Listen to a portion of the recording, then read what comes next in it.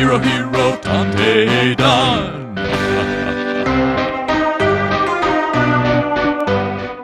ああのはいどうされましたか？い家の家の鏡がマジックミラーなんですマジックミラーですかこちらでお貸ししている物件でそういったものはないかとでもでも本当なんです指先が指先がちゃんとくっついて。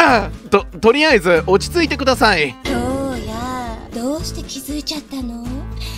どうやってすごいね。私出禁にされてたからずーっと寂しくって。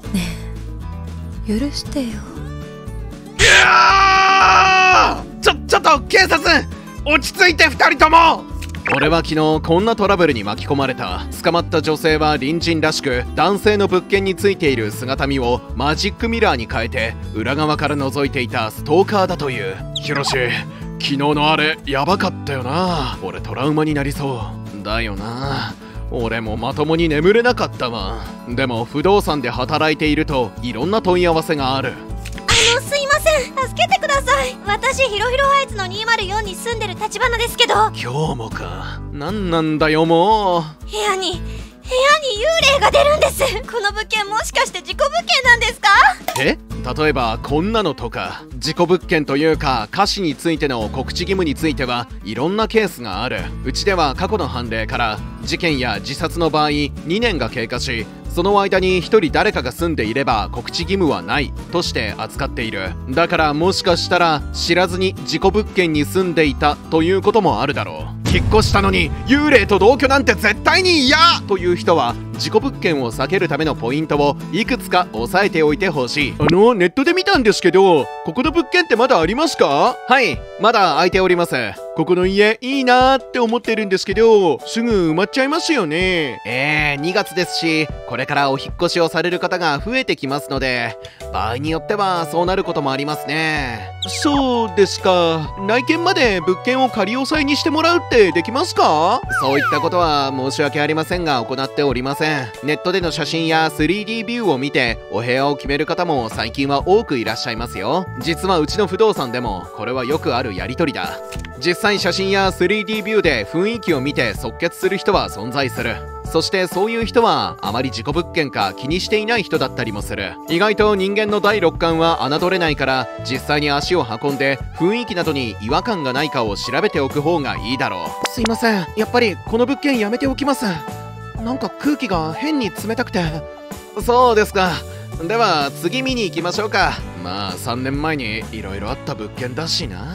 これは結構重要なポイントだ。というのも何か事件や自殺があった場合地元に詳しい人間はそう簡単には忘れないからだ。特に小料理屋はお客さんと地元の話題をすることが多いから情報屋もびっくりするほど知識があったりする。俺も実際不動産業に勤める前にやったことがあるんだ。はい天ぷらそばお待ちどうさん。ありがとうございます。あのー、僕ここ今日初めて来たんですよ。ヒロヒロレジデンスに住もうと思ってて。ヒロヒロレジデンスね。何かあったんですか？あそこうちの常連さんが去年孤独死したらしくてさ。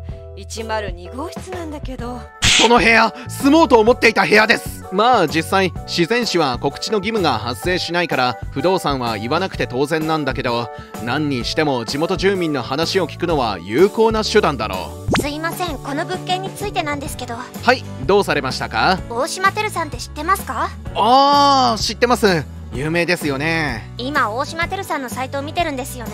おすすめしてもらっていいなって思ってるんですけどこれ見てください。ええ書いてありますね今から7年くらい前ですけどここで自殺があったってこの部屋じゃないんですか？いえこのお部屋ではないです。